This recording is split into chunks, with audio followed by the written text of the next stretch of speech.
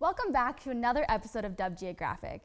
Last week we talked about animal intelligence, and this week we are highlighting an awesome creature, the beaver. Beavers are environmental manipulators very similar to humans and have many more exciting features. I'm your host, Maddie Peterson, and you're watching Dub Geographic.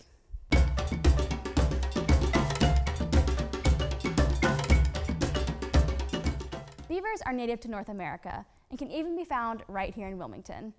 While most animals have many different species, there are actually only two different species of beavers, the Eurasian beaver and the North American beaver. The history of beavers is a fascinating one, and their history has shaped much of our own history as well. From 1670 to 1870, beavers were hunted to near extinction for their expensive and lucrative pelts. During this fur trade period, beaver pelts were used basically as currency, and because they were hunted so ferociously, beavers actually evolved to be nocturnal to avoid hunters. This is an extreme example of how far humans affect animal behavior. Another amazing trait of the beaver is that they make dams. These dams are not just simple structures, and actually the largest beaver dam in Canada can be seen from space. And in fact, most of our own cities establish their locations because of beaver dams. But how do these creatures make these incredible structures? Well, beavers chop down trees to build their dams and dens by gnawing around the tree in a circle.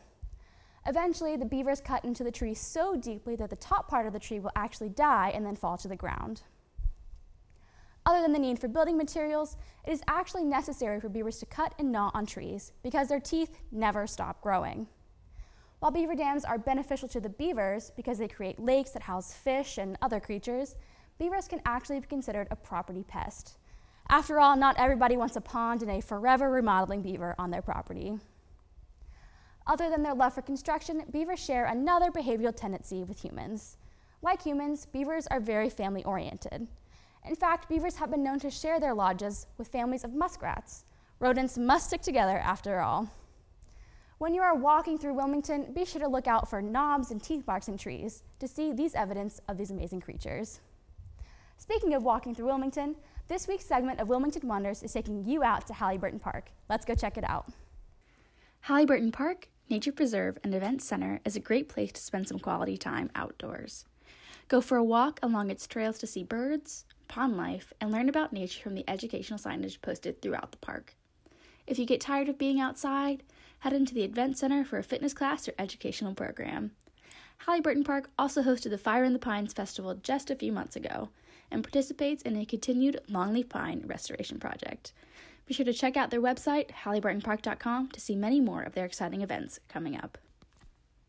And we're back from Halyburton Park. Be sure to go check it out as the weather gets warmer.